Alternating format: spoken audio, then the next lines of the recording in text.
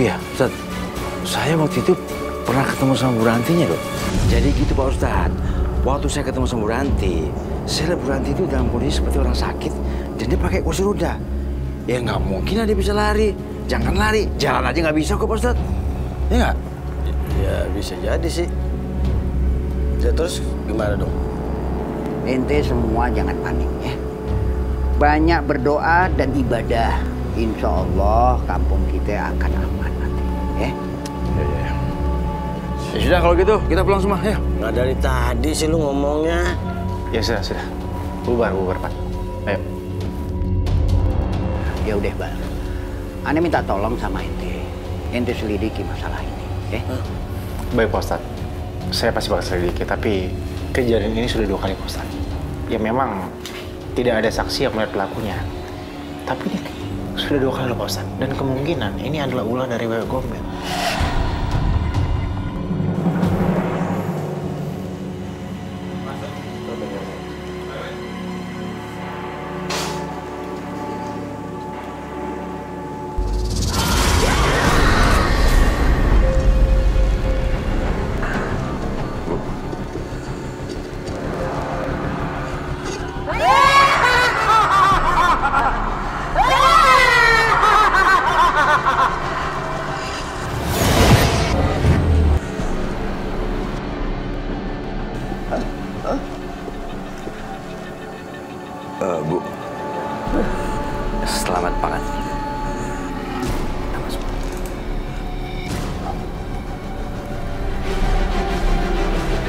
Bapak-bapak semuanya, saya peringatkan pada kalian semua, bagi yang punya istri yang sedang hamil besar,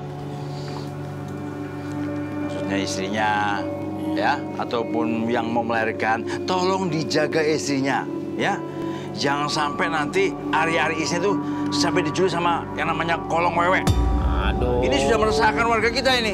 Teh, teh, teh, teh, teh, ini bahaya nih, teh. Bahaya nih kalau gini caranya nih, ya. Ini bisa jadi balat buat kampung kita nih. Udah dua kali orang kehilangan ari-ari. Buat apaan itu dia nyolong ari-ari? Setahu aneh kalau orang nyolong ari-ari itu buat ilmu hitam, tau nggak ente? Mungkin saya juga nggak tahu. Tapi Jiman, ini nyolong itu wewe gombel. Hmm. I, i, i, iya. Jadi bukan orang. Itu bagaimana sih? Ini goib, ini sudah goib. Wewe gombel yang ngambil. Baik gombel. Oh, oh bukan orang. Or, itu kan hari-harinya hari-hari orang. Daus, yang di yang diambil itu sama siapa si gombel? Iya.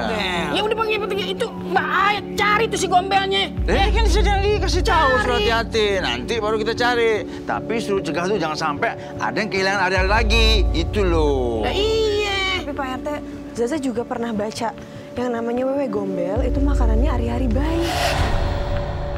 Kan. sekarang itu sono deh ke pasar deh eh dia persiapan buat warung sana udah udah ah, sampai nyampur nyampur aja Ya astagfirullahaladzim Babe.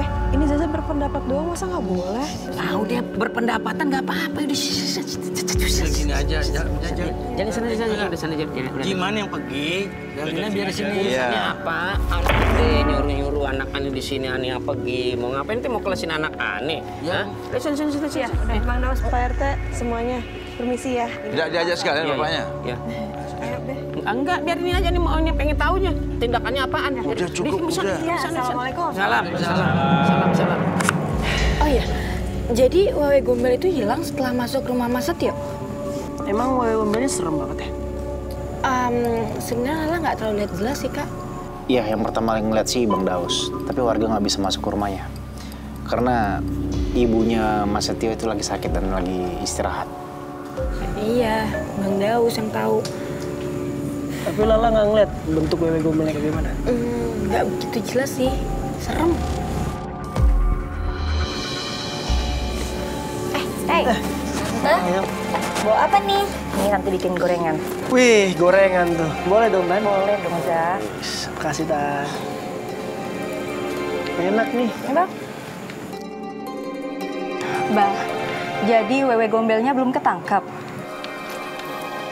Belum, Tante. Aduh, Mbak, gimana ini? Kalau nanti aku pas lahiran, terus kejadiannya kayak begitu. Udah, kamu tenang aja, Wit. Kan ada Reza sama Iqbal yang nanti akan bantuin kamu jagain hari-hari kamu. Iya, Tan. Kita siap kok. Jagain. Ya mbak tenang aja, kita kan saudara harus saling bantu. Ya, dan kami akan berusaha semampu kami ya Mbak ya.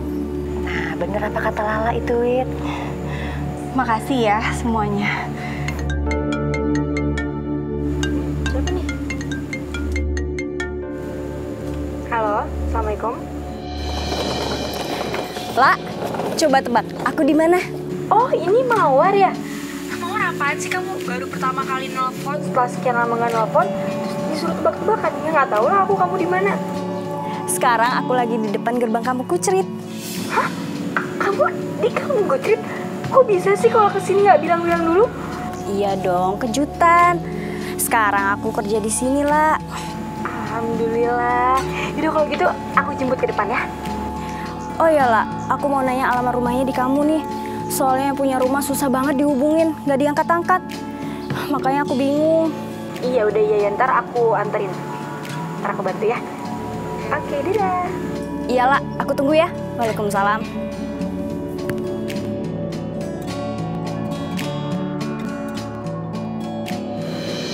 Siapa sih, Nak? Tante ini loh, Mawar, teman SD Lala dulu. Terus dia itu baru lulus sekolah perawat. Dia dapat kerjaan di kampung Kucrit kan pas banget. Tapi dia tuh ke sini nyasar katanya. Nggak tahu alamat dia ke mana.